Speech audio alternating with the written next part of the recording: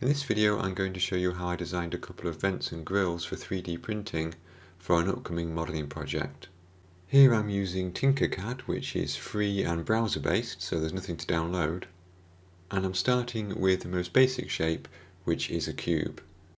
With all my measurements in millimeters I want this cube to have a length of 7, a width of 20.5 and a height of 2 mil. This is going to be the basic outline of my vent shape. Then I'm going to take another cube which is going to act as the hole to create the gaps in the vent.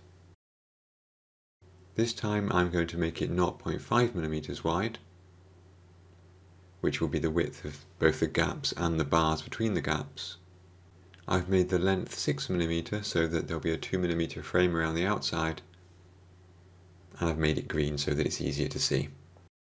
Then what I do is position that green piece roughly where I want it to be, so 2 millimeters away from the left edge, and in fact you can see there I changed the length to 8 mil from 6 mil. Then I move this green shape down on the z-axis so that it goes all the way through the original red shape. When I'm happy that that green piece is in the right position, I can turn it into a hole and then all I do is select both the original frame and the new piece and combine them and that has the effect of cutting the green piece away from the red piece and giving us that nice ventilation hole. All I need to do now is to copy and paste that same hole piece over and over again making sure that I space them out 0.5 mil between each one. It doesn't take too long. And then once I've got all of those holes in place, select everything and combine. And that has the effect of cutting all of the holes from the original vent and giving us our final vent piece. A nice simple process, doesn't take too long, and of course you could make those ventilation uh, slats go horizontally as well as vertically if you wanted. Let's add a small amount of detail here with a little recess to represent the screw holes. So to do that I'm going to start with a cylinder and we know that the frame is 2 millimeters wide so I'm going to make this cylinder 0.6 millimeter diameter. I'm also increasing the number of sides there to get a nice smooth circle.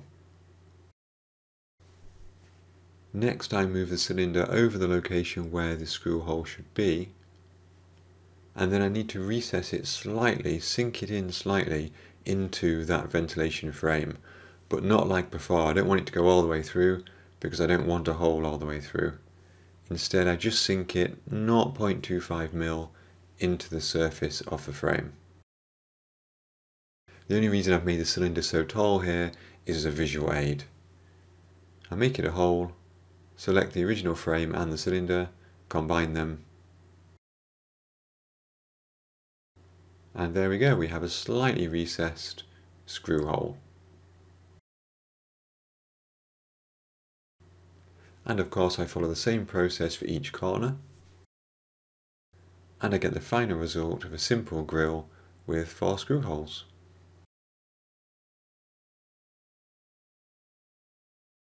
Next up I want to make a slightly more complicated shape.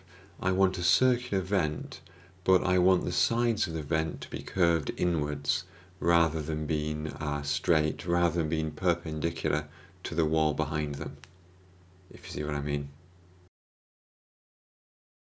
Again, it's really a case of choosing the right shapes and just carving away um, at those. So instead of starting with a cylinder, I start with a dome. One option would be to cut off the top of this dome, but instead I'm just going to squash it down so that it has a height of 2 millimeter, which will be the final thickness of my vent. if we change the view, you can see there it's got slightly inwards curving walls, of course. I give that dome a radius of 20 mil, although I'll later add 0.5 mil, and I make a cylinder with a radius of 17 mil and match their centres.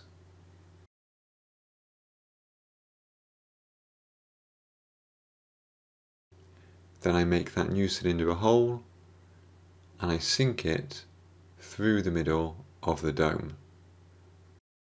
There you can see it goes all the way through. Then I combine the two shapes and it cuts away the centre and leaves me that circle with those inward curving walls that I wanted. Now the process for creating the grid itself is very similar to the rectangular grill, except I'm going to be adding pieces here rather than cutting them away. And it's at this point that I added 0.5mm to the frame so that I don't get a fence post error that I'm not, I'm not out by one. So I start with a cube. I make it 20 millimeters wide, 2 millimeters high, and 0.5 millimeters deep. Then I adjust the height to 1 millimeter, but you can see we've got this small problem here where the square edge of the bar is just sticking out from that rounded edge of the frame. There are a couple of ways to solve this, but the easiest I found was to knock a quarter of a mil off the top of that bar so it's slightly recessed inside the frame. And I think that looks better anyway. Of course, if I make the bar too long, it's still going to stick out the side, but I just need to make sure it's not too long. And there we go, that's my first bar in the centre. Next job, copy and paste it. Again, make sure it's 0.5 mil away.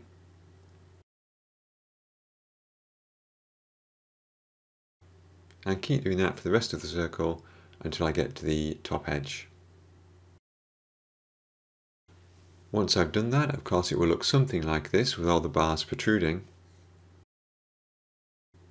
So as we get closer to the top, we just need to make each bar a little bit shorter each time. And that's easy enough to do. We'll start with this one. Just drag that edge in a small amount.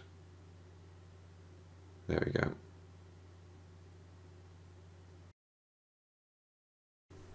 Finally, you've got a couple of options. You could place all the bars in the lower half manually, or you could simply copy the upper half bars, flip them 180 degrees, and paste them in the right place. And there we go, we have a circular vent.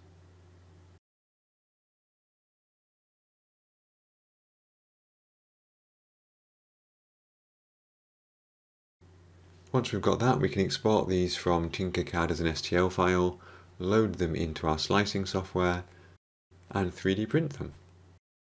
And here are the final results printed with my Creality Mage Pro resin printer. I think they look pretty good actually. I know I could probably scratch build a vent or I could use one probably from the spare parts box. But the advantage of this method is you can make them exactly as you want them. There we go guys, that was a quick Tinkercad tutorial on making some simple vents. Hopefully I've encouraged you to have a go. It is quite a straightforward program. You just need to think about how you can break your object down into smaller geometric shapes. There are some limits for Tinkercad, you can't move vertices and make your own sort of custom shapes by dragging or anything. But if you think about cutting things down, there's quite a few things that you can do. I would like to thank all of you for watching this video. Special thanks to my Patreon supporters and YouTube members. I will see you soon in a future video, and until then, have fun modelling.